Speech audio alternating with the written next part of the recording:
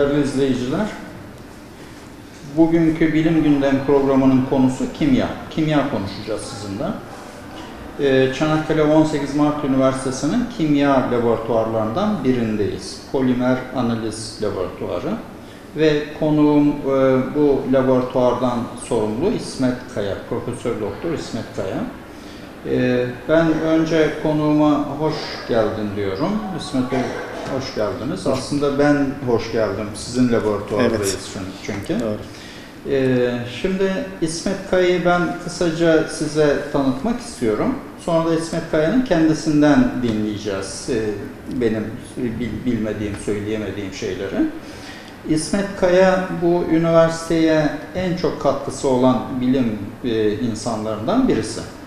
Ee, en çok yayın yapan, hem de işte indeksli dergilerde en çok yapan, yayın yapan bilim insanlarından birisi. Ee, hatta en önde gelen diyebiliriz. Çünkü işte bir e, Azeri bilim adamıyla yarışıyorlar birincilik sırasında. Ee, İsmet Kaya e, bu laboratuvardan sorumlu ama bir ekibinde başında ekip çalışmalarıyla götürüyor bilimsel araştırmaları. Zaten son yıllarda bilimsel araştırmalar ekip işi. E, ekiple çalışamazsanız işte e, birkaç yayın yapabilirsiniz yılda ama ekip çalışmasıyla burada e, işte bu laboratuvar bir fabrika gibi. Burada üretilen verilerle yılda 20-30 civarında indeksli dergilerde yayın yapılıyor. Ben hemen bu konuşmaya başlamadan önce İsmet Bey ile görüşürken e, dinledim. 22 yayınları çıkmış bu sene 2015'ten. 18 tanesi de değerlendirmedeymiş. Ee, tabii bu bilimsel yayınların ne olup olmadığını da konuşacağız bu program boyunca. Öyle kolay bir şey olmadıklarını da anlayacağız. Ben sözü fazla uzatmayacağım. İsmet Kaya'yı e, tanıyacağız ve İsmet Kaya bize kimya ile ilgili bilgiler, bu laboratuvarların kurulması, çalışması ile ilgili bilgiler aktaracak. Ben tekrar konuğuma hoş geldin diyorum. İsmet Bey, e, bir de sizi sizden dinlesek. Ne zaman geldiniz buraya, kaç yıldır e, görev yapıyorsunuz? Biraz özgeçmişinizden söz etseniz. Teşekkür ederim hocam. Osman hocam ilk defa ben 1999 yılında tanıştık. Ee, Evet. Buraya geldiğim zaman Evet. ben e, 99 yılının Mayıs ayında Çanakkale 18 Mart Üniversitesi'ne geldim. Daha önce O zaman ben de e, Ekim ayında geldim. Aynı yıl gelmişiz Evet, aynı ama arada işte Evet. 5-6 ay farklı Fark var, gelmişiz buraya. daha önce e, Kahramanmaraş Sütlü İmam Üniversitesi'nde çalışıyordum. Oradan buraya geldim. Evet. Tabii ki ilk geldiğimiz zamanlar e, gerçekten imkanlar çok kısıtlıydı yani. yani laboratuvar imkanımız yoktu. E, Evet. E, laboratuvar deney düzeni kuracağımız yer yoktu. İşte ilk kendimin imkanlarını almış olduğum malzemeler geldik. İşte bir ısıtıcı, bir iki beher, Evet. bir tane geri soğutucu, bir Aha. balon. Onlarla başlamıştık. Bu bina da yoktu. Bina yoktu evet. Evet. Bina yoktu. Bir tane laboratuvar, öğrenciler ve hocaların ortaklaşa kullandığı bir laboratuvar vardı. Neredeydi laboratuvarınız ilk Ee, Eğitim fakültesinin ikinci katında, Evet. C blokta. Evet, Ee, evet. ikinci katında. Zaten bütün üniversite Evet, oradaydı, bütün değil mi? üniversite oradaydı. Doğru, haklısınız. Evet. Ee, orada o imkanlarla çalıştık, çalışmaya başlamıştık. Hı hı. Ee, ilk defa 2001 yılında üniversitemiz adına TÜBİTAK projesi aldım. Ee, Evet. 50.800 TL bütçeli. Hı hı. Ben kendim 50 bin lira istemiştim ama oradaki hocalar 800 lira daha fazladan verip Evet. 50.800 lira vermişlerdi. Evet. Ve ilk e, laboratuvarın e, altyapısını o projeyle başlamıştık yani. İlk Evet. aldığım cihaz e, yüksek performanslı sıvı kromatografisiydi. Evet. O cihazlarla başladık ve zamanla e, her yıl belirli periyotlarda projeler, TÜBİTAK ve DPT projeleri yazmak suretiyle toplam şu anda günümüze geldiğimiz zaman e, 12 milyon TL bütçe almışım. Hı hı. TÜBİTAK, TÜBİTAK, Hı hı. DPT ve BAP projelerinden harcadığım. Tabii sadece burası değil. E, yukarıda da bir ıslak laboratuvarı var. Hı hı. Deneysel çalışmaları yaptığımız. Evet. Bir de üniversitemize kazandırmış olduğum Çobültüm yani. Bilim ve Teknoloji Araştırma ve Uygulama Merkezi'ndeki cihazlar var. Yani o cihazlar da benim kendi projem kapsamında alınan cihazlar. Evet. Ve o cihazlar şimdi üniversitemizin herkesine hitap ediyor. Hı hı. Tüm akademisyenler orada analizlerini rahatlıkla yapabiliyorlar. Evet. Yani bizim çalışmalarımızdan geldiğimiz zaman bizim çalışmalar biz polimer yani genelde biz iletken polimerler yani yapısında aromatik e, fenil veya işte konjüge pi bağları içeren polimerler sentezliyoruz. Daha sonra onları yapılarını aydınlatıyoruz ve daha sonra da uygulama alanları yani bu yapmış olduğumuz maddeleri hangi alanda kullanabiliriz? Onunla ilgili de birkaç çalışma yaptıktan sonra uluslararası impact faktörü yüksek dergilere gönderip yayınlatıyoruz. Evet. Peki Ve- ben araya girip e, e, sormak istiyorum. Şimdi izleyiciler polimerin bile ne demek olduğunu anlamayabilirler e, birçoğu. Evet. Çünkü alanları değilse bu normal. E, polimerin ne olduğunu, ne işe yaradığını biraz Polimer e, kelime iki e, şeyden birleştirilmiş. Mer ile poli kelimelerini birleştirilmiş hali. Poli zaten çok demek Çok yani. demek. Mer de tek birim. Hı. Yani aynı birimin çoklarının tekrar Hı. ettiği bir yapı Evet. yani. Evet. Yani bu e, diğer bizim organik bileşikler gibi değil yani. E, Mesela günlük yaşamda kullandığımız malzemelerin hangileri polimer? Mesela e, e, halk arasında poşet denen yani Aha, polietilenden evet, yapılmış. O nedir? Bir dediğimiz e, poşet denir ama polietilenden yapılmış. Polimerik Evet. bir malzemedir. Evet. Yani yapısında etilen birimleri olan e, bir polimerdir. Evet. Tabi bu halk arasında poşet diye algılanır. Yine günlük hayatta kullandığımız e, Plastik elastomerler var, plastikler var. Plastik yine genel bir kavramdır. E, PET şişe. Ner yine polimerden yapılmıştır, Evet. polietilenden yapılmıştır. Yine köpük bardakları vardır, polistirenden yapılmıştır. Aslında e, polimer tamam güncel hayatta e, çok uygulama alanı olan bir e, bilim ama e, onun yanında dezavantajları da var tabii Evet. yani. Yani Bu kullanırken çok dikkat etmek gerekiyor. gerçekten günlük yaşamda en çok kullanılan Evet, malzemeler. metallerin önüne geçti şu anda plastikler. Hı, E, evet. metallerden daha fazla kullanılıyor. Hı hı, hı hı. Ama e, kullanmadan önce onun e, en azından ne tür e, zararları var onlara Evet. bakmak gerekiyor. Ona göre kullanmak gerekiyor. Peki zararları da çevre açısından. çevre değil açısından mi? var. E, bazen mesela sentez aşamasında çünkü onlar hep kalıba dökülüp kalıpla elde edilen Evet. ürünler. E, kalıp esnasında eğer içerisinde çözüm birimleri kalmışsa veya reaksiyona girmeyen monomer birimleri kalmışsa onlar zarar zararlı olabilir. Onun yerine e, daha zararsız ürünler kullanmak gerek. Mesela polistirenden yapılmış bir e, bardak yerine kağıttan yapılmış selüloz yani. Evet. Çünkü o da bir polimer fakat sentetik olmayan bir polimer, tabii polimerdir yani. Hı hı, hı Onun hı. yapısında herhangi bir e, aromatik birimler olmadığı için Evet. e, insan sağlığı açısından zararlı değil. Polistirende ise fenil grupları var. Yani halka, aromatik halkaları var. Kanserojen yapan da zaten bu aromatik gruplar. Yani Hı radikal birimler. Çünkü radikalik tepkime o vücutta girdiği zaman ortamdaki diğer radikal birimlerine tepkimeye girip farklı ürünlere dönüşme ihtimali yüksek olduğundan dolayı kanserojen riski yüksek. Evet. Onun yerine yapısında fenil grubu olmayan veya konjüge pi bağı içermeyen ürünleri e, e, ürünlerinde de elde edildiği polimerler kullanılırsa sağlık açısından hiçbir sakıncası olmaz. Evet. Ee, bakın değerli izleyiciler e, burada e, terimler falan işte özel kimya terimleri olduğu için belki çok iyi anlamamış olabiliriz ama kimyanın özellikle polimerlerin insan yaşamında sağlık açısından, çevre açısından ne kadar önemli olduğunu anlıyoruz. Ee, bunu e, biraz daha açmasını istesek İsmet Bey'e. Ee, Yani e, polimerler insan yaşamında daha yay, daha mı yaygınlaşacak, daha mı gelişecek? Şimdi günümüzde daha çok kullanmaya başladı. Niye? Çünkü e, metallerin e, kullanıldığı alanların hepsinde neredeyse polimerler kullanılmaya Evet. başladı. Çünkü yerine e, geçti. yerine geçti. En önemli avantajı hafif olmaları. Hı hı, Çünkü metaller ağır Evet. ama hem e, bu malzemeler hem hafif hem de dayanımları iyi. Evet. Kullanı işlenebilirlikleri kolay. Metallere nazaran daha kolay işlenebiliyorlar. E, dolayısıyla e, hem üretici açısından hem kullanıcı açısından da daha avantajları var. Bu sebepten tercih ediliyor.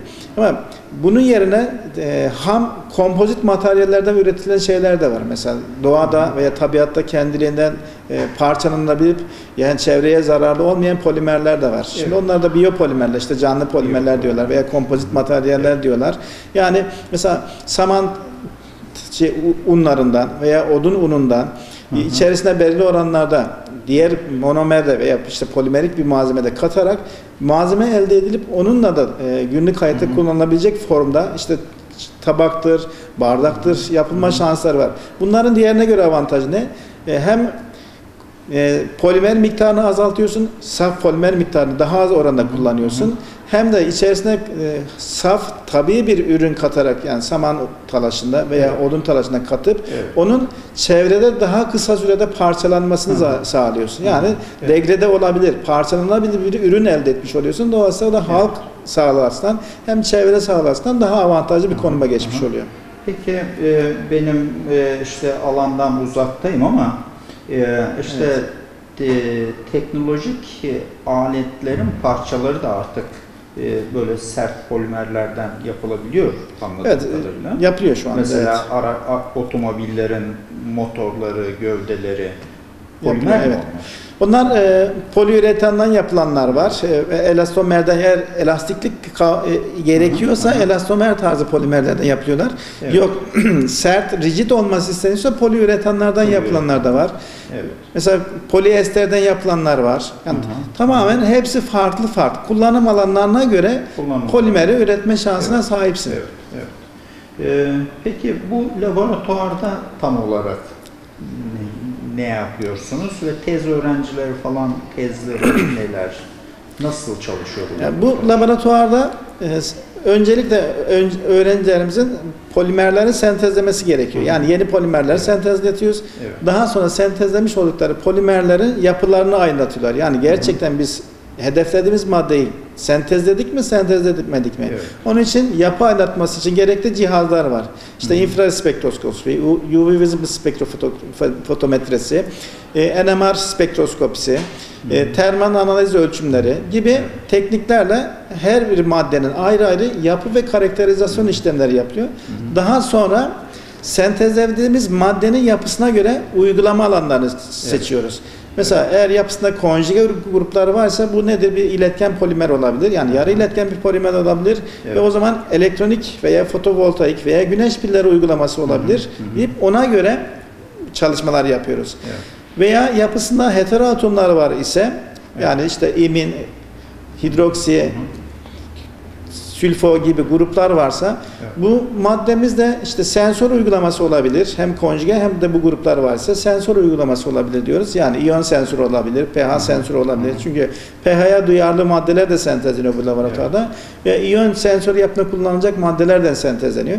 Daha sonra onların ya, bu tür özelliklerini belirliyoruz ve o tür özelliklere de olumlu sonuçlar çıktıktan sonra uluslararası dergilere gönderip Evet. Piyasada bu çalışmanın e, geçerliliğinin olup olmadığını bir nevi araştırmış oluyoruz. Evet. Eğer e, iyi bir dergide de yayınlatırsak demek o zaman bizim yaptığımız çalışma Tabii, güncel tabii, ve popüler tabii. bir konu ve dergide de revaç görüyor demektir. Evet. Şimdi e, şunun da altını çizmekte yarar var. E, bu işte burada e, yeni polimerler sentezlenirken bir de dünya literatürü takip edilmesi gerekiyor. Tabii. Aynı şeylerin işte Amerikan tekrar keşfi gibi tekrar yapılması anlamlı değil. E, yeni Evet, bir haklısınız. şeyler çıkması gerekiyor. Bunun için de dünya literatürünün çok güncel, sürekli izlenmesi gerekiyor. Bu da önemli bir çalışma, Evet. önemli bir iş, değil mi? O e, gerçekten önemli yani hocamın söylediği gibi. Çünkü e, biz bir çalışmayı hedeflediğimiz zaman zaten ilk aşaması literatür taramasıdır yani. Evet. Yani bu çalışma gerçekten yapılmış mı, yapılmamış mı? Hı hı, Zaten hı. yapılmışsa e, dediğiniz gibi Amerika'yı tekrar bir daha keşfetmenin Evet. bir manası yok. Bir de yapılmışsa işte yapılanı e, literatürden özümseyecek, iyi algılayacak biçimde çalışıyoruz, Evet. öğreniyoruz. Sonra onun eksikleri neler? Onu aramızda Evet. görüşüyoruz, tartışıyoruz Evet. değil mi? Tabii. Sonra burada çalışmaya Tabii. geçiyoruz. E, onun için de bizim kütüphanemizde Science Finder var. Biz onu Hı hı. 3 veya 4 yıl oldu yaklaşık ona aboneliğimiz. Evet. Şimdi o Science Finder'da dünyada ne kadar kimyasal molekül var ise hı. ki bu Evet. ortalama yıllık 809 bin tane 900 bin tane yeni madde sentezlenir ve bunlar hep li- dünya literatürüne giriyor. Evet. Bu Science Finder tüm bu dataları topluyor. Evet. Ve o içerisinde eğer bizim yapmak istediğimiz madde sentezlenmiş ise zaten tekrar sentezlememize gerek yok. Evet. Bakıyoruz. Bizim yapabileceğimiz farklı bir özelliği var mı? Ona giriyoruz. Evet. Yok sentezlenmemiş ise ilk çalışma literatür Hı hı. taramasıdır yani. Hı hı. Sentezlenmemiş ise onu biz kendimiz sentezliyoruz. Daha sonra uygulamasını yapıp yayına gönderiyoruz. Evet. Zaten yapılmış bir şeyi biz kendimiz e, dergiye sunsak bile ne? Şimdi dergilerde e, bu tür şeyler zaten editörler kendileri de yapıyorlar. Çok kolay yani. Sadece molekül yapısını çizdiğin zaman, zaman Science Finder'a otomatikman sana veriyor. Yapılmış ise hangi dergide yayınlandığını, metodunu bile veriyor yani. Şu metoda göre sentezlemiş diyor. Yani bu Science Finder çok önemli bir data, veri Evet. data verisi. Yani ona göre belirliyoruz, oradan an- analiz ediyoruz. O madde sentezlenmemiş ise öğrencilerimizden birisine veriyoruz ve o çalışmayı yapıyor. Tabii çalışmayı seçerken de sentezlediğimiz maddenin nerede uygulanacak yani Evet. şu hedef o yani. Yoksa e, sadece sentezleyip bir rafa koyup onu makale şekline dönüşten sonra bırakmak değil yani. Evet. Mutlaka bir de uygulama alanlar. Zaten şu an son yıllardaki dergilerin büyük bir kısmı yani impact faktörü yüksek olan bir dergide çalışma yapabilmen için veya yaptığın çalışmayı sunabilmen için mutlaka sana bir uygulaması sorarlar. Yani yaptığın çalışma güzel de nerede yarayacak? Ne işe yarayacak yani? Evet. Yani şu anda ona gidiliyor yani. Yani eski gibi sadece senteze tamam yeni bir madde karakterize et, yayınlat, devri bitti. Evet. Mutlaka uygulamasını istiyorlar. Evet. Onun için e, biz de çalışma sistemimizi veya laboratuvar imkanlarımızı birkaç yıl arayına update etmek zorundayız. Yani güncellemek zorundayız. Zaten güncellemezsen piyasada tutunamazsın. Evet. Çünkü e, diğer sektörler gibidir yani bilimsel çalışmalarda. Evet. Yani senin çalıştığın şeyi bir başkası da düşünebilir ve senden önce yapabilir. O senin düşündüğün kişi şey çalışmayı bir başkası senden önce yapar ise zaten senin çalışmana da gerek kalmıyor yani. Yani bir nevi diğer sahalardaki yarışma gibi bilimsel çalışmalar da yarış içerisindedir. Yarış. Ve e, diğer sektörde belki sadece kendi ülkende yarışıyorsun ama bilimsel çalışmada dünyanın her ülkesine yarışmak zorundasın. Çünkü senden önce bir başkası da yapabilir. Başka bir ülkedeki bir bilim adamı da yapabilir. O zaman senin tüm çalışmaların bir nevi tabiri caizse çöpe gider. Evet. Aslında burada bilimsel araştırmanın önemini, aşamalarını ve zorluğunu Evet. e, anlatmaya çalışıyor İsmet Bey. E, gerçekten bilimsel yayınlar öyle hemen işte e, 15, 20, 30 yayın yaptım e, demek kolay gibi görünüyor ama Değil. arkasındaki emek o kadar fazla ki. İşte yine e, e, bu program öncesinde konuştuk. Bir yayının çıkabilmesi minimum Bir yıl bir sürüyor. yıl gerekiyor. En az bir yıl. Daha önceden planlama aşamasında dikkate alırsanız bu 2 yıl, 3 yıl oluyor. Buraya. Ee, Evet. Yani bugün bir yayın çıktıysa bu 2-3 yıl önce planlanmış demektir değil mi? Evet. Ee, bilimsel yayınlar bu kadar e, e, zor ve farklı aşamalar gerektiriyor. Bu aşamalarda işte veri toplamayla, literatürle başlıyor. İşte o verilerin analizi falan bir sürü aşamalardan geçiyor ve artık ekip çalışması. Bu Evet. laboratuvarlar öyle bir iki kişiyle e, yürütülemiyor. Çok sayıda elemanın Evet, çalışması. doğru haklısın hocam. Ee, gerçekten e, bizim bu laboratuvarda en az 15 tane çalışan elemanlarımız var. Bunlar Evet. işte doçent olan arkadaşlarımız var, Hı hı. öğrencilerim var benim. Yardım doçent olanlar var, öğretim Evet. görevlisi olanlar var, doktor araştırma görevlisi olanlar var Hı hı. ve yüksek lisans ve doktor öğrencileri var. Hı hı. Şimdi bunların hepsi bir ekip içerisinde ekip halinde çalışıyor. Yani birisi bir nevi işte tabiri caizse sanayideki gibi işte i- hı. iğne yapan ustalar gibi işte teşriki mesai nasıl e, sanayide varsa bilimsel çalışmalarda da teşriki mesai var. Yani Hı hı. herkes kendi gö- üzerine düşen görevi yapıyor. Evet. Daha sonra onlar birleştiriyor ve ürün haline dönüştürüyor. Yani ürünü nedir burada? Makaledir yani. Onu sonra ürün haline dönüştürüp dergilere yani sunuluyor. Yani alıcıya çıkarılıyor bir nevi. Evet. Hangi dergi kapar veya hangi dergide onu yayınlatabilirsin? Tabii bu da e, çalışmanın kalitesine göre. Şimdi çalışmanın kalitesi zayıfsa tutup bunu ACS dergilerinde yayınlama şansı yok. Onun hangi dergiye gideceğinde yine çalışmayı yapan ekibin başı veriliyor. Evet. Ha, bu çalışmamız şu güzeldir, şu dergide gidebilir. Ha, bu çalışmamız o kadar kaliteli değil. Yani Evet. o kadar uy- e, uygulama alanı yok, o kadar içerisinde data fazla yok. Şu dergiye gidebilir. Evet. Onu da belirledikten sonra dergiye gönderiyoruz. Evet. Ee, peki e, bu yayına kadar e, geçen bu bilimsel araştırmanın aşamalarını biraz daha açar mısın? Ha, Mesela aşamaları evet. Lisans öğrencilerinden de yararlanın, yapıyor musunuz? Onlar nerede ne iş yapıyor mesela? Lisans öğrencilerinden son sınıf öğrencilerinden yararlanıyoruz. Onlara bitirme ödevi olarak veriyoruz ve bitirme ödevindeki bir öğrencinin çalışmasını bilene yurt dışında yayınlatabiliyoruz. Evet, Ve hem de evet. bazen öyle güzel çalışmalar çıkıyor ki impact faktörü yüksek. Yani Evet. 3,5-4'lerde olan dergilerde yayınlanan bitirme çalışmalarımız Evet, bilene var. evet. Yani öğrencinin hoşuna gidiyor. Ve daha sonra bu çalışmaya dayalı olarak adam akademisyen olmaya karar veriyor. Yani bakıyor e, Evet. gerçekten yani bir Ürün insan bir ürün yaptı. O ürün de piyasada alıcı buldu. E, hoşuna gidiyor ve akademisyen olmaya karar veriyor ve yüksek lisans doktora yapıyor. Aha. Bitirme ödevlerinin bu avantajları var. Evet. Diğer lisan, yüksek lisans ve doktoralarda ise yine aynı şekilde önce bir literatür aması var. Daha sonra onun e, bulduğumuz dataların yorumlanması var. Yani gerçekten bu çalışma yapıldığı zaman iyi bir dergide gider mi gitmez mi ona karar Evet. veriliyor. Ve o yapacağımız maddenin yani sentez, yeni sentezleyeceğimiz maddenin hangi tür uygulaması yapılabilir ona karar veriliyor. Ve ondan sonra deneysel kısma geçiliyor. Ha, Evet. Deneysel kısma geçilmeden önce tabi alt yani ana maddeler var bir de yan reaktifler var bir sentez yapılmak için. Hemen yani iki maddeyi kattım işte B maddesi veya işte C maddesi oluştu ben onu sonra onu karakterize edeyim diye gibi bir şey yok yani. Mutlaka onun yan reaktifleri de var. Yani katalizör dediğimiz veya çözücü ortam dediğimiz bir yan reaktif veya yan kimyasallarda kullanmak gerekiyor. Ya maddeyi sentezledikten sonra analiz aşamasına geliyor. Analizini yapıyorsun, karakterize ediyorsun ve daha sonra bir uygulamasını belirliyorsun ve ondan sonra gönderiyorsun. Yani bir çalışmanın çıkabilmesi için en az ortalama sizin dediğiniz gibi bir veya iki yıl geçmesi gerekiyor. Ha, onun için de eğer sen sürekli gerçekten bir akademisyen olarak bilimsel yönden güçlü bir hoca veya bilimsel yönde güçlü bir bilimsel e, güçlü bir e, grup oluşturmak istiyorsan e, bu çalışmayı sürekli devam ettirmen gerekir. Yani ben bugün çalışayım işte bir tane yayın yapayım seneye bakarız diye düşünürsen o zaman bilimsel çalışma olmaz. Ya bizim çalışmalarımız yani hep bir sonraki yıla hedeflenerek yapılır. Mesela şu anda biz 2015 yılını kapattık. 2015 yılını nereden kapatıyoruz? Haziran ayında kapatıyoruz. Evet. Haziran ayına kadar 2015 yılında çalışırsın. 2015 yılını Haziranda bit- bitirirsin.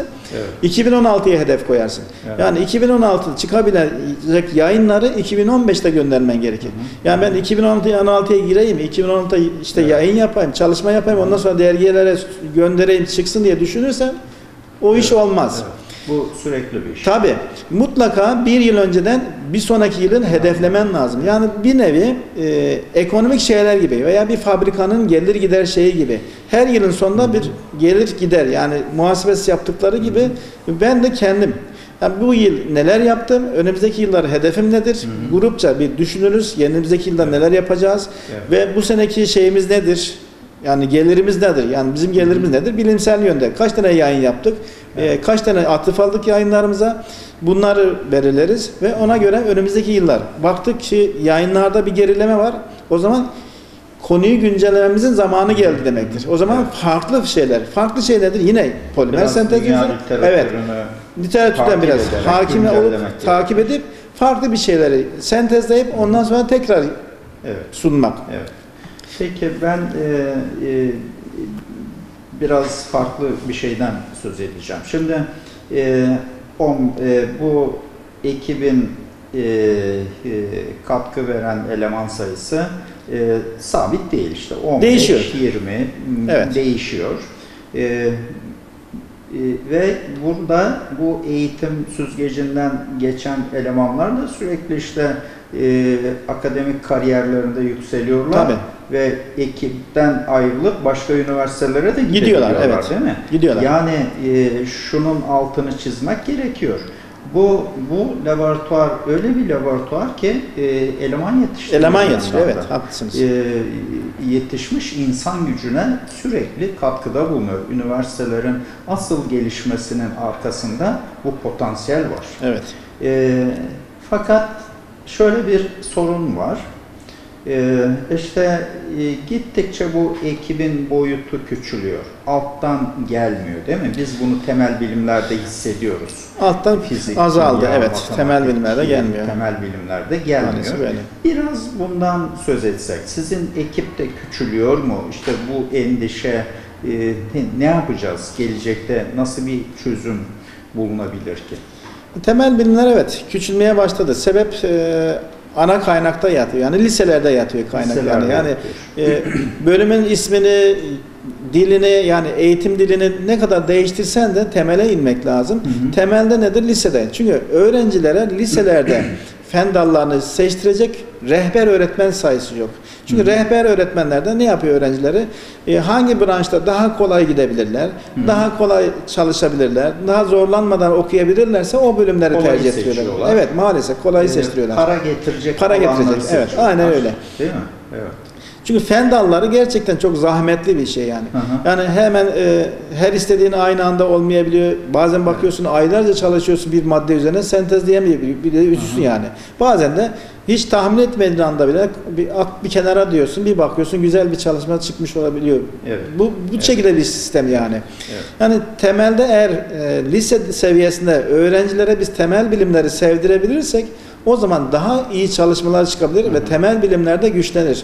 Evet. Bir diğer sebebi temel bilimlerdeki giriş puanlarıyla mühendisliğin giriş puanları neredeyse aynı Aşağı oldu. yukarı. Çünkü her üniversite aynı bölümleri açtı. Bir tane Hı. bölüm açıyor Orta Doğu Üniversitesi, bir bakıyorsun Hakkari'deki bir üniversite de aynı bölümü açmış. Evet. Ya o zaman ne yapıyor? Adam e, öğrenci, sınava giren öğrenci ben temel bilimdeki bir kimya veya fizik veya biyoloji bölümüne gideceğime mühendis aynı şeylerin Aynı puanla puanla mühendis fakültelerine veya mühendislik bölümlerine rahatlıkla gidebiliyorum diyor. Evet. O zaman ben orada okuyacağım. Gidip mühendislik olurum. Çünkü mezun olduğum zaman işte kimya mühendisi. İsmi nedir? Mühendis. Ama Hı. diğeri nedir? Kimyager Evet. veya fizikçi veya biyolog. Şimdi e, kelimenin karşıdaki kişilerdeki algılama operasyonu şeyi de farklı. Şimdi Hı hı. mühendis dediği zaman insanlar bir farklı bakıyor. Evet. Biyolog veya kimyager dediğin zaman farklı bakıyor. Ya, ha kimyager Evet. diyecek. Ha Evet. Laboratuvarda çalışan eleman mı? O gözle bakılıyor. Şimdi insanlara o gözle bakıldığı için insanlar da e, ister istemez farklı bölümlere yani e, kelimenin gücüne bir nevi yönelip farklı bölümlere gitmek istiyorlar. Yani mühendisleri tercih ediyorlar. Ama e, şu da bir gerçek ki temel bilimler güçlü olmadığı sürece mühendislikler de güçlü olmaz. Evet. Çünkü temel bilimler mühendislikleri besleyen Aha, bilimlerdir yani. evet. Yani bir Evet. ülkenin temel bilimleri ne kadar güçlü ise diğer Hı. mühendislikler de o kadar güçlüdür. Evet. En çok e, şey odaklanmamız gereken aslında temel bilimlerdir. Aha. Yani bir ülkede temel bilimler çöktü mü diğerleri de çöker Diğerleri yani. de çöker. Ya hukuktur sözel bölümler için yani söylüyorum. E, onlar tamam gerekli ama temel bilimler kadar e, şeyi değil yani. Evet. Bir ülkenin gelişmesi temel bilimlere bağlıdır. Hı hı. Yani Ee, temel bilimler olmadan bu tür çalışmalar yapamazsın yani. İsmet Bey, ben, ben de e, e, işte program öncesinde yine konuştuk ya. Evet. Mesela Fen Lisesi müdürüyle görüştüm ben. Ee, işte 5 sosyal sınıfa e, bir fen sınıfı var, e, sayısal sınıf var. Say, peki dedim sayısal sınıftan mezun olanlar nereleri tercih ediyor? Ee, ben bekliyorum ki hani mühendislik, fen e, fakültelerini falan tercih ediyorlar. Yok dedi, yok. Onlar da dedi hukuk, işletme gibi iktisadi idari bilimlerin bölümlerini tercih ediyor. Doğru. Ee, o zaman temel bilimlere öğrenci kalmıyor. İşte çok az sayıda öğrenci de kalan öğrenciler de büyük şehirlerdeki köklü büyük üniversitelere gidiyor. Dolayısıyla Anadolu'daki üniversitelerin fen fakülteleri kapanma durumunda. Evet. Birçoğu, birçoğunda da fizik, kimya Kapandı. bölümleri kapandı. Diğer etken de şu yani sizin söylediğiniz gibi hocam. Şimdi sözel bölümler maalesef daha çok medyatik oluyor yani. Hı hı. Yani adam bir avukattır işte gündemde her zaman için kalabiliyor. Gündemde Evet. popüler olarak kalabiliyor ama temel bilimler bir kimyacı veya bir fizikçi Hı hı. işte laboratuvardan çalışıyor. Öyle sosyal aktivitesi fazla Hı hı. olmayan bölümler. Evet. Şimdi insanlar biraz da e, asrımızın şeyi yani medyatik olmak istiyor yani. Çünkü Evet. teknoloji çok ilerledi. Ya medyatik olmak için yani şey, gözde görünmek için, vitrinde olmak için o tür bölümler daha avantajlı. hı. Ama biz fen bölümleri için o tür şeyleri söylemek mümkün değil. Hı hı. Yani çok iyi bir buluş yapacaksın da bizim insanımız seni görecek de gelip seninle röportaj yapacak yani. Bir Ama fen bilimleri, mühendislik bilimleri öyle kendi reklamını yapabilecek insanlar değil evet. O da o evet. O da bir Değil. etken. Bir negatif yönde etken. yani negatif etken. Bir de toplumda şöyle bir yanlış algı var. Ee, işte şöyle denmek isteniyor. Ee, üniversitelerde temel bilim bölümleri çok zayıf. Oralara kim niye gitsin ki? Mezun da zaten iş bulamıyor. İş bulamıyor. Dolayısıyla yönlendirilirken demin dediğimiz orta öğretimdeki rehber öğretmenler, okul müdürleri, yardımcıları e, sayısal sınıflara öğrenci e, teşvik etmiyorlar. Dolayısıyla işte üniversitelere gelen öğrenciler de e, temel bilimlere ge- gelememiş oluyor, gelmemiş Gelmiyorlar. oluyor. Evet. Ee, aslında orta öğretimde bilinse, bu gerçek durum algılansa, e, temel bilimler olmadan mühendislik de olmuyor. Ülkenin gelişimi de Hiçbir istenen düzeyde olmuyor. E, hatta işte Celal Şengör'ün dediği gibi çöküşün başlangıcı, Başlangıcı. diyor. Ülke Doğru. için bu çöküşün başlangıcı. Temel bilimler çökerse gerçekten ülke çöker, Çöker. gelişemez. Çünkü her şey temel bilim. Yani teknoloji bilen temel bilimlere bağlı. Yani basit gibi görünüyor mu? Mesela buradan sentezlenen maddeler, mesela e, elektrokromik malzemeler de sentezleniyor burada. Hı hı. Yani e, üzerine düşen ışının e, rengine göre, yani absorpladığı Evet. ışının yansıttığı ışını, absorpladığı değil, yansıttığı ışının rengine göre farklı renklerde maddeler de sentezleniyor. Yani elektrokromik malzemeler, işte yüzeyde yağ tutmayan, yüzeyde su tutmayan malzemeler sentezleniyor. Yani bunlar Yani, boyanmadı. yani, işte bunlar evet. nedir? Hepsi temel İşte bilimlerde yapılan işler. kendisi. Yaşamın Yani kendisi, evet. Yaşam için gerekli olan şeyler planlanıyor bu laboratuvarlarda. Veya işte termal kararlı yüksek poliüretanlar sentezliyor, mekanik dayanımı yüksek poliüretanlar sentezliyor. Bunlar nedir? Her biri sanayide uygulanabilecek veya sanayide Evet. iş yapabilecek şeyler. Mesela en basit mesela bizim ülkemizde e, bir işte insan hava araçları yapıldı, İHA'lar yapıldı. Hı hı.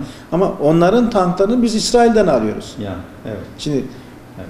kendisini yapıyorsun ama parçasını İsrail'den alıyorsun. E şu anda günümüzün konjüktürüne baktığınız zaman her taraf savaş alanına dönmüş. İsrail bize o insan hava araçları Hı. yakıt tanklarını verir mi? Vermez. Evet. E bunları kim yapacak? İşte temel bilimler yapacak. Evet. Mühendis anlamaz. Hı hı. Temel bilimler yapacak. Yani kim?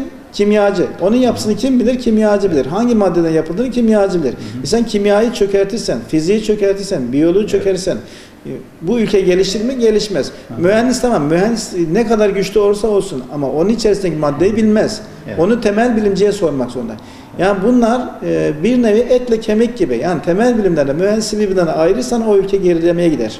Şimdi şunun altını bir daha çizmekte yarar var diye düşünüyorum ben. Orta öğretimdeki öğrencilerin velileri, öğretmenleri, okul müdürleri, yardımcıları eğer ülkeyi düşünüyorlarsa, eğer Evet. ülkemizin gelişmesini düşünüyorlarsa çocuklarını temel bilimlere, mühendislik bilimlerine. Yönlendirmeler gerekir. Haklısın. Ee, ama bugün görüyoruz ki öğrenciler e, kolaya kaçıyor. İşte e, mezun olduğunda kolay iş bulabileceği, işte çabuk çok para, Para kazanabileceği alanları seçiyorlar. Temel bilimlere öğrenci kalmıyor. Do- Dolayısıyla temel bilimler e, belki bilmeden, farkında olmadan çökme durumuna gelmiş durumda. Ama işte bunun e, öncelikle farkında olması gereken kurumlar e, Milli Eğitim Bakanlığı, YÖK, okul müdürlükleri.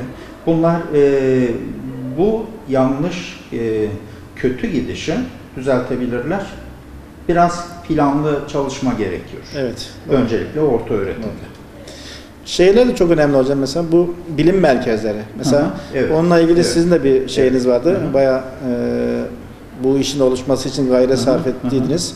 E, ben de çok istedim ama bir türlü onu yapamadık yani. Ben de bilim merkezlerinin bu Çanakkale'de kurulmasını çok istedim. Evet. Hatta onunla ilgili e, e, projeyi de hazırlama aşamasına geldik. E, bizim üniversitenin maalesef rektörlük Evet. seçimine denk geldiği Evet. için Evet. e, sunum tarihleri öyle kaldı. Hı hı. Yani o bilim merkezlerinde işte ilkokul, ortaokul, lise seviyesindeki öğrencilere temel bilimlerle ilgili Temel basit bilimler deneyler yaptırıp çekmek. onları bilimsel akademisyenliğe heveslendirmek ve onları akademisyenlik veya temel bilimlerde hı. veya bir laboratuvarda çalışmayı özendirip onları bu alanlara yönlendirmek için açısından da çok önemliydi. Fakat onu da burada kuramadık. Onu da yapalım. Ha, yapamadık yani. Belki Ben ikimizin de hatası. Yeri gelmişken ben de bu konuda birkaç şey söylemek istiyorum. Şimdi gerçekten işte e, gençliği, madem gençlikle övünüyoruz, Türkiye gerçekten genç nüfus açısından çok şanslı. Çok şanslı. Ama gençliği iyi eğitip ülkenin kalkınmasında rol alacak e, noktaya getirebilsek gerçekten Türkiye uçar. uçar. Evet. Ee, Evet. ama burada öncelikle işte temel bilimler ve mühendislik e, önemli yer alıyor. Bunlar e, önemsenmeden ülkenin beklenen gelişmesini sağlamak mümkün değil. Bu bağlamda işte bilim teknoloji merkezleri planlandı Türkiye'de. Ee, Bilim Teknoloji Bakanlığı destek verdi, TÜBİTAK destek verdi. Her ile bilim teknoloji merkezi kurulacak dendi, sıraya kondu ve e, e, yapılıyor. Pro- Plan uygulanıyor ama yavaş, çok Yavaş yavaş. gidiyor. Çok yavaş gidiyor. Henüz daha 3-4 kentte bilim teknoloji merkezi kuruldu. Biz Çanakkale'de 100. yıl Konya'da bağlamında, kuruldu. bu Çanakkale Savaşları'nın 100. yılı bağlamında Çanakkale'de sıraya girsin istedik ama o da olmadı, gerçekleşmedi.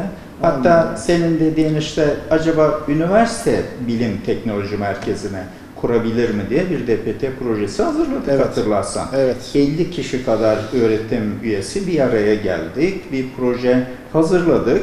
Ee, ama Kaldı. proje DPT'de savunulmadığı için e, gerçekleşmedi. Evet, evet. Şimdi o proje elimde benim. Tekrar sunmak istiyorum emekli olmadan. O projeyi e, gerçekleştireceğimiz yer şu Sarp Vadisi'ydi. Şu vadinin Evet, o aşağısını arkamızda. Bu Çok da güzel vadi orası gerçekten çok değerli bir vadi. Evet. 60 dönüm kadar. İşte girişine büyük cami yapıldı. Ee, hemen orada 35 dönümlük bir alan var. Sonra 55 dönümlük bir alan var. Botanik Parkı Var, da orada yapılabilir. gerçekleşecekti. Ee, birbirine bağlantılı işte rekreasyon alanlarıyla e, bilim ve teknoloji merkezi bağlantılı çok güzel bir alan oluşacaktı orada. Ben yine bu projeyi rektörlüğe sunmayı düşünüyorum. Belki de diyorum Büyük Cami'nin alt katı bilim ve teknoloji merkezinin çekirdeğini oluşturabilir. Eklentilerle, Oradan başlayıp evet kendi açabiliriz. eklentilerle bu vadi yine bilim ve teknoloji alanında kullanılabilir diye düşünüyorum. E, Bence de orası güzel. Gerçekten o e, tam müsait yani. Çünkü bir tarafta şey vardı. Botanik parkı e, alanı yapılacaktı. Evet. E, diğer alan kısmı bilim merkezi rahatlıkla yeter yani. Ve insanlar geldiği zaman hem buradaki botanik parkında Çanakkale'ye özgü endemik bitkileri görecekler. Çünkü onun içinde bizim biyolojideki arkadaşlar Evet, topladılardı evet, yani. evet. Endemik bitkileri. Evet. Hatta saklı bahçede şu anda bir kısmını şey yapıyorlar. Ki orası yapıldığı zaman oraya aktaracaklardı. Onun yanına bilim merkezini kurması da çok güzel. Hem üniversitemiz açısından hem Çanakkale şehri açısından. Çünkü Çanakkale e, çok e, eleman çeken yani çok turist gelen Hı. veya çok e, ziyaret edilen bir şehir. Evet. E, şehitlikten dolayı, maneviyat şe- e, şehrinden dolayı. Ve o gelen insanlar hem botanik parkını hem bilim merkezini gezerek daha güzel bir e, e, şeyle buradan Hı. ayrılabilirler. Hı. E, onun için de hem üniversite hem yerel yönetim yani belediyenin de destek vermesi gerekiyor. Bir Çünkü arada. genelde büyük şehirlerde bu şekilde Evet. oldu. Belediye ve üniversite ortaklaşa verdiler. Belediye ve, Ve üniversite birlikte. Birlikte hareket edip güzel bir şey yaptım. Mesela ben Konya'dakini gezdim. Gerçekten çok güzel yapmışlar. Ve orası cıvıl cıvıl. Sürekli insanlar yani gelip geziyor. En çok ilkokuldaki ortaokul ve lise öğrencileri Evet. ve bunların içerisinde ilkokul seviyesindeki öğrenciler daha çok meraklı. Evet. Çünkü onların e, hafızaları daha güçlü. Çünkü dimağlar daha kabiliyetliler. Her şeyi soruyorlar e, meraklarından dolayı oradaki kişilere, görevlilere ve bir şeyler öğrenmek istiyorlar. Yani o tür bir sistemin Çanakkale'de olması gerçekten e, elzem yani olması gereken bir şey. Ama bu bizim işte üst yönetimlerin bakışı bana göre. Eğer üst yönetim temel bilimlerden olursa olaya farklı bakıyor, sözelciler Evet. farklı bakıyor. Evet. Yani temel bilimlerdeki olan bir şey e, bilimsel çalışmalara para harcarken hiç önemsemiyor. Hı. Yeter ki bilimsel bir çalışma çıksın. Ama e, diğer sözel bilimlerdeki bir yöneticiye baktığın zaman bizim harcadığımız paralar onlara çok lüks gelebiliyor. Ama bu elzem yani. Sen eğer dünyada kendini söz sahibi ettirmek istiyorsan temel bilimlerine harcaman gerekiyor. Güçlü olması gerekiyor. Sen hem para harcamayayım hem de güçlü olayım. Böyle bir şey yok. Yok. E, halk arasında bir tabir var ya hem 25 kuruş hem şoför mahalli Aha. Veya 3 köfte 25 kuruşa Evet, olmaz gibi. evet. E, gerçekten sen eğer dünyada ben ilk 20'ye girmek istiyorum veya işte 100. Cumhuriyetimizin 100. yılında ben ilk 5'e ekonomik yönden ilk 5'e gireceğim diye istiyorsan bu yönlerinde güçlü olması gerekir. Sen her ne kadar ekonomik yönden güçlü olursan ol.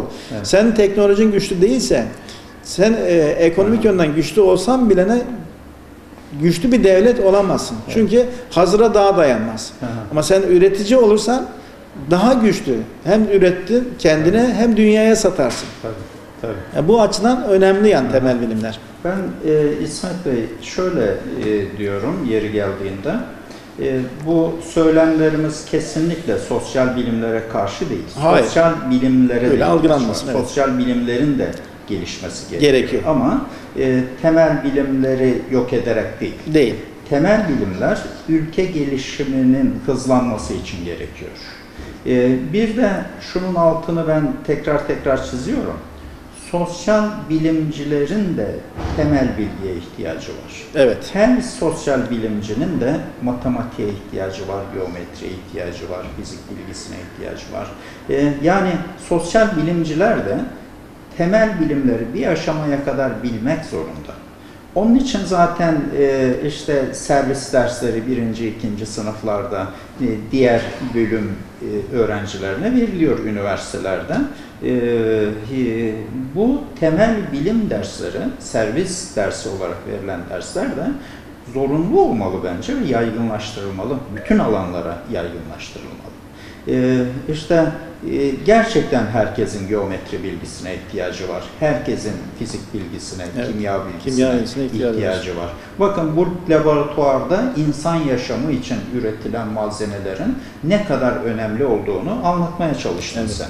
Yani bu bilince e, varmamışsa öğrenci, e, bunun değerini bilmiyorsa e, temel bilimlerin de önemini Önemli, bilmiyor bilmiyor temel evet. bilimler gidiyor. Doğru. Ee, Diğer e, branşlar için de önemli. Mesela e, bir ilahiyat fakültesi için de temel bilimler önemli. Tabii, yani tabii. e, şimdi her şey temel bilimlere Hı e, bağlılık gibi algılanmasın. Şimdi Hı şöyle bir tabir de var. İşte e, öğrenci hocası sözlüğe kaldıracak ama hoca- öğrenci e, kabağa çalışmış, e, başka bir konu- konuya çalışmamış. Olayı Hı hı. hep getirip getirip Evet. kabağa bağlıyor. Ama o manada bakmamak gerekiyor. Gerçekten gerekli. Niye diyeceksin? Hı hı. Temel bilimler bir ilahiyatçı gerek için gerekli. Şimdi müsbet ilimler ve menfi ilimleri birlikte okutmazsan bir kişiye şimdi madde ile manayı birbirine bağlayamaz. evet. Şimdi adam eğer e, bir dini alimse, ilahiyat fakültesinde bir öğretim üyesi veya bir hoca ise en az bir e, e, kimyanın temel şeylerini veya fiziğin temel şeylerini bilmek zorunda. Yani bir elektronun e, atomun etrafındaki elektronun hareketini, atomun yapısını veya bu nasıl hareket ettiğini onları bilecek ki karşıdaki insanlara söylemiş olduğu ifadelerin daha kalıcı olması Evet. sağlanmasın sağlanabilsin. Yani e, kimyadan bir haber ise, fizikten bir haber ise e, günümüz çağındaki insanlara dini konuları anlatıp onlara inandırması veya onlara ispatlaması da zor. Onun için e, her ikisini birden öğrenmeler gerekiyor. Nasıl ki bir kuş tek kanatla uçamıyor ise hiç e, tek kanatlı bir kuş gördük mü görmedik. Serçe tek kanatla uçabiliyor mu? Uçamıyor. O zaman e, ilahiyat fakültesinde okuyan bir din alimi de veya ilahiyat fakültesinde bir öğretim üyesi de en az e, bir kimyacı kadar demiyoruz ama temel konulardan veya fenin temel konulardan, Evet. temel şeylerden haberdar olması gerekir. Yani o konularda Fransız kalmaması gerekiyor ki Evet. karşıya daha iyi daha iyi şey- şey- hitap etsin, daha iyi sinyaller verebilsin ve karşı taraf da onu alsın. Evet. Bu 2008-2010 yılları arasında YÖK'te bir çalışma vardı. Bologna süreci çalışmaları. Ee, fakültelerin yeniden yapılanması yönünde bir çalışmaydı bu. Fakülte yetkinlikleri, yeterlikleri, fakülte yeterlikleri belirlenecekti. Bir komisyon da kuruldu. Ee, bu çalışmalara göre fakültelerdeki bölümlerin ilk iki yıl dersleri ortak olacaktı. Bütün dersler ortak olacaktı ve temel bilimler ağırlıklı Ağırlıklı olacaktı. Ee, o te- işte ilk iki yılı okuyan ve başarılı olan öğrenciler isterlerse ön lisans diplomalarını alıp e, işte Mezun hayata olacaklar. mezun olacaklar, Evet. hayata atılabileceklerdi. Ee, ondan sonra da ilgi alanlarına göre öğrenciler Yönlenecek. bölümlerini seçeceklerdi. Böyle bir çalışma e, önemli bir aşamaya gelmişken bırakıldı, terk edildi. Nedenini bilmiyorum ama herhalde bu yeniden yapılanmanın zorluğu nedeniyle terk edildi. Evet. Keşke edilmeseydi. Sanıyorum e, o zaman işte bu temel bilimler e, önemi kavranmış olacak ve işte bütün alanlarda, bütün fakültelerde e, temel bilim ağırlıklı iki yıl geçirilecek. Ondan sonra uzmanlaşma, branşlaşma başlayacak. Güzel olacaktı ama o da Evet. kaldı evet. Orada kaldı. Öyle kaldı. Bakın o Avrupa Birliği uyum çalışmaları çerçevesinde üniversitelerin Bologna süreci kağıt üzerinde kaldı. Peki işlevselliği kalmadı Kağıt evet. üzerinde kaldı. Ee, Evet. Kağıt üzerinde kaldı. Şimdi programın da sonuna yaklaşıyoruz. Ee, ben şunu vurgulayacağım. Ee, üniversitelerimizde bu tür laboratuvarların önemi çok fazla. Bu laboratuvarlar çoğaltılmalı. Ee, yetişmiş insan gücü, özellikle temel bilimlerde yetişmiş insan gücü arttırılmalı ki bu laboratuvarlarda yetişiyor o Tabii. elemanlar. Ee, dolayısıyla ülkenin gelişmesi ancak bu şekilde sağlanabilir diye düşünüyorum.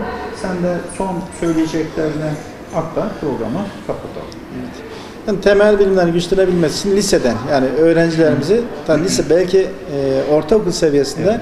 temel bilimlere yönlendirecek motivasyonlar yapılması gerekir. Yani bunların çok önemli olduğunu, bunların e, laboratuvarlara gezdirilmesi gerekir. Öğrencilerin laboratuvarda basit deneyler yapılması gerekir onlara ki temel bilimleri sevsinler ve temel bilimlerin gerçekten günümüzün günümüzdeki günlük hayatta birçok alanda kullanıldığını fark etsinler. Biz kendi öğrencilerimize ve termodinamik dersini anlatırken bakıyorum şimdi buzdolabı var. Buzdolabının kullanım yani çalışma mantığı, çalışma prensibi, Carnot makinesi.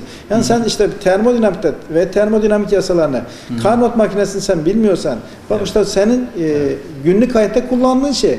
Ama sen burada termodinamik dersini alıyorsun fakat uygulamasını hiç e, bahsedilmezse Evet. ya Evet. bu teorik değerde, derslerde bizi sıkıyor diyorsun. Ama işte günlük hayatta kullanılan şeyler. Carnot makinesi nedir? Buzdolabı oluyor. Ne yapıyor? Senin orada soğutuyor buzdolabına. Diğer bir şey de geliyor senin odanı ısıtıyor. Yine hepsi çalışma mantığı normal bildiğimiz Carnot makinesi. Biri Carnot makinesi, biri Carnot makinesinin tersi mantığıyla çalışan. Yani aslında temel bilimler e, birçok alanda var. Fakat onları e, insanlarımıza veya öğrencilerimize uygulamalı bir şekilde göstermediğimiz için insanlar kaçıyorlar. Teorik zannediyorlar ki her şey teorikten ibaret sanıyor. Halbuki çalışmaları veya konuyu uygulamalı bir şekilde öğretilse daha kalıcı oluyor. Evet. Yani bir sentezin işte e, basitçe işte şunu şunu şöyle yaptığı zaman kitapta okumak ayrı ama birebir öğrenciye maddeyi verip kendini yapması ayrı. Kendi yaptığı zaman hoşuna gidiyor. Aa, yeni bir ürün yaptım diyor. Evet. Yani farklı bakış da değişiyor yani. Evet. Hem hoşuna gidiyor çünkü kendine az bir ürün bir de Evet. farklı onu uygulama alanlarda bulursa daha da hoşuna gidiyor. Yani bir nevi e, atölye gibi görmek lazım laboratuvarları ve öğrencilerimiz de ona özendirmek gerekir ki temel bilimleri sessinler. Ee, e, senin söylediklerinden yola çıkarak ben e, yine altını çizeceğim. Ee, orta öğretimde galiba kara tahta başından kurtarılıp e, eğitim Laboratuvara e, laboratuvara Evet. e, dersliklerden laboratuvarlara kaydırılmasında yarar var. Yani öğrenciler yaparak, yaşayarak, uygulayarak hatta üreterek eğitimin içinde olmalılar.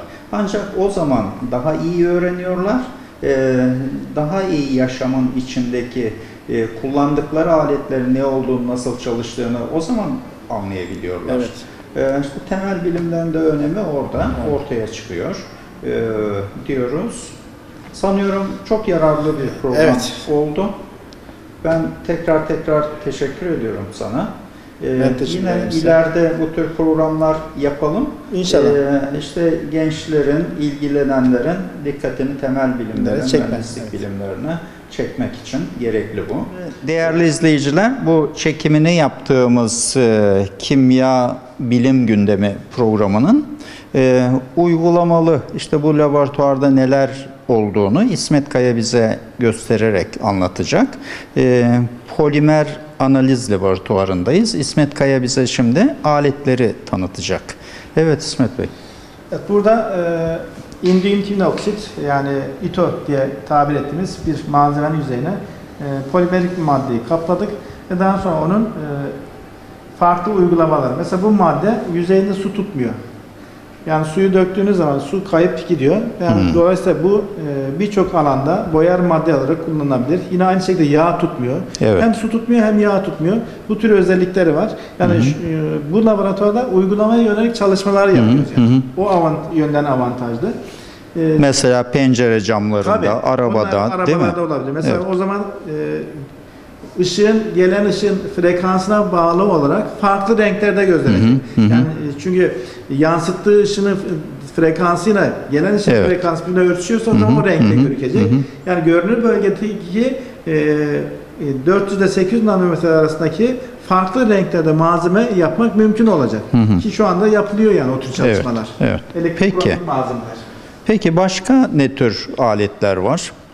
Burada kullandığımız- termal kararlılığı, sentezlediğimiz maddelerin termal özelliklerini incelediğimiz e, termogrametrik analiz cihazı var.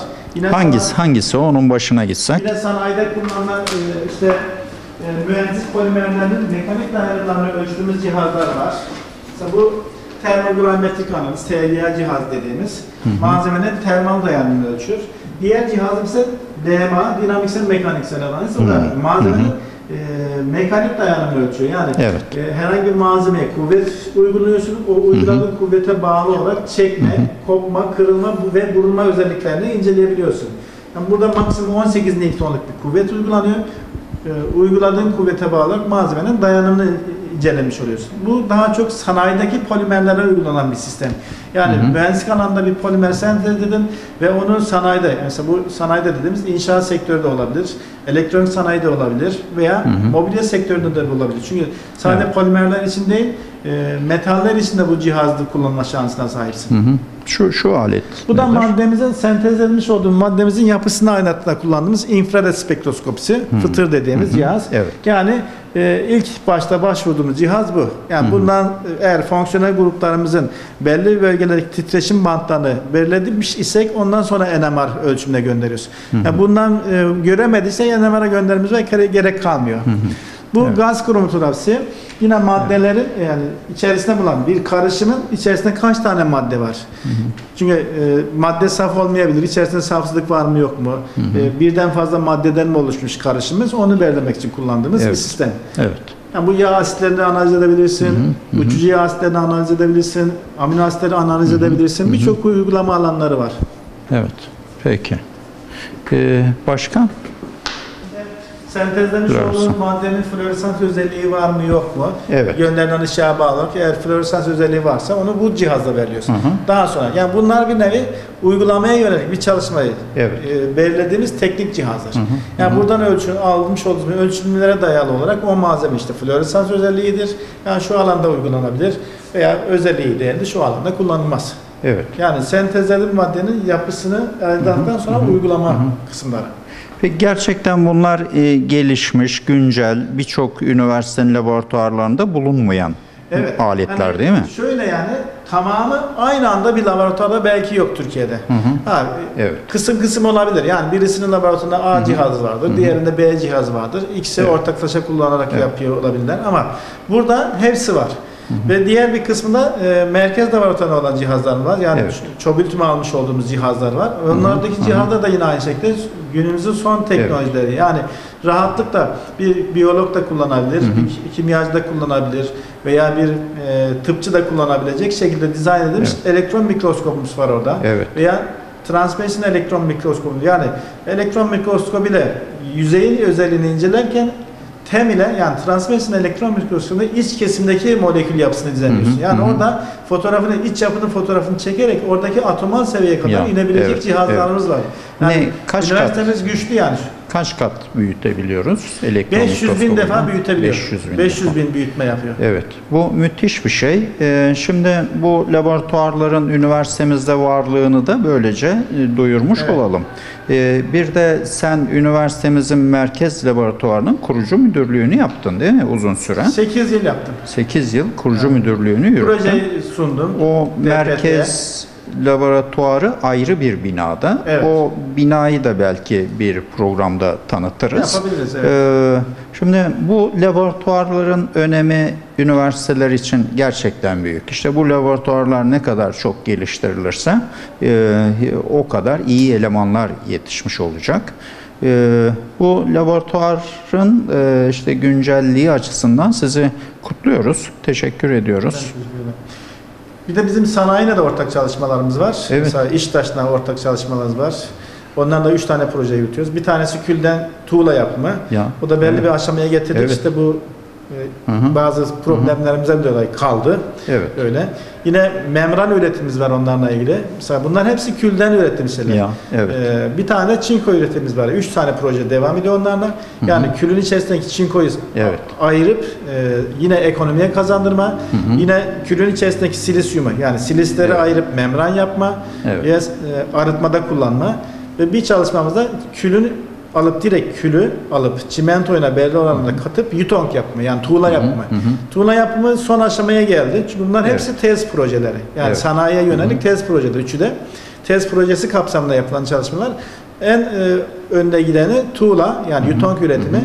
Yutong üretiminde belli bir aşamaya geldik. Hatta İzmir'de bir firma geldi bizden almak istedi fakat biz fabrikayla ortak çalıştığımız için onlara uygun bir cevap vermedik yani. Evet. Onlar bizden patentini alıp biz kendimiz üretelim dedi. AKG Gaz Beton İzmir'de ve Evet. Türkiye'de başka yerlerde de fabrikalar var. Toplamda 5 fabrikalar var bu işi yapan yaptıkları. Ama bizim e, şeyimiz önemlimiz veya avantajımız e, külü yani hiç işlevselliği olmayan e, külden yutong yapıp sanayiye, ekonomiye Evet. kazandırmak. Ee, işte üniversite devam. üniversite sanayi işbirliği de böyle Evet. böyle Şimdi gelişecek. İşte bu tür projelerle gelişecek. Evet. Üniversitemizde de bu yöndeki çalışmalardan e, örnekler verdin sen. E, tekrar teşekkür ediyorum ben. Bu programda bilgilendirmiş olduk e, izleyicileri. E, değerli izleyiciler, e, bir bilim gündemi programının daha sonuna geldik. Yeni bir bilim gündemi programında görüşmek üzere.